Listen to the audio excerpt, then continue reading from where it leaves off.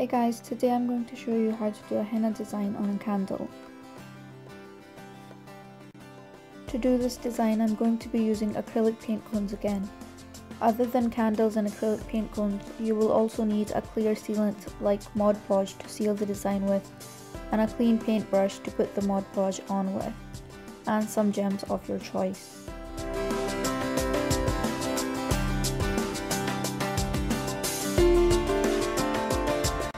Hold the candle steady in your hand and go slowly and take your time with the design. Gently put the gem onto the area where you want it to be while the paint is still wet so that it sticks onto the candle.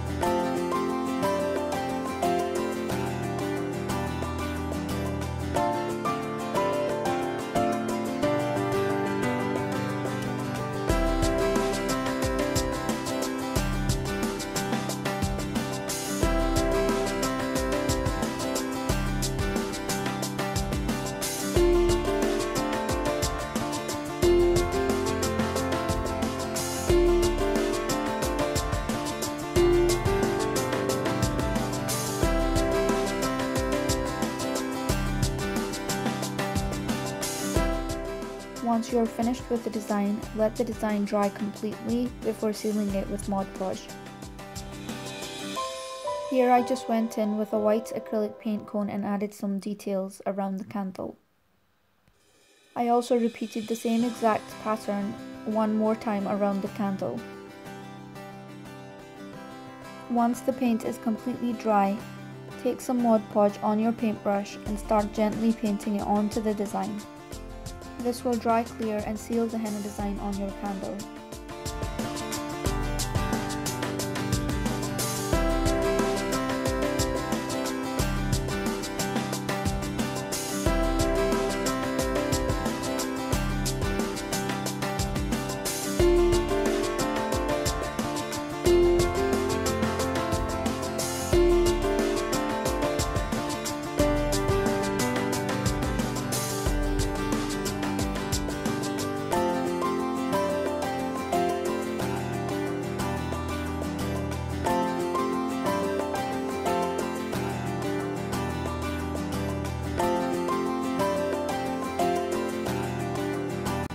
Please keep in mind that this henna design candle is for decor purposes only.